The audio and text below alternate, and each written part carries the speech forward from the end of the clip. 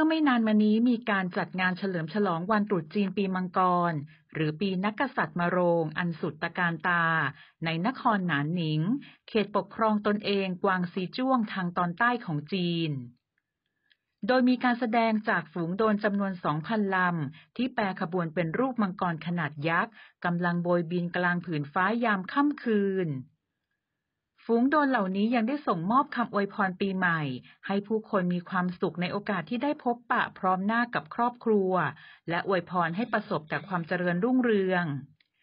ทั้งนี้มังกรเป็นหนึ่งในนักกษัตริย์ทั้ง 12 ตามวัฒนธรรมจีน และได้รับการยกย่องให้เป็นสัญลักษณ์แห่งความเคารพนับถือและความโชคดี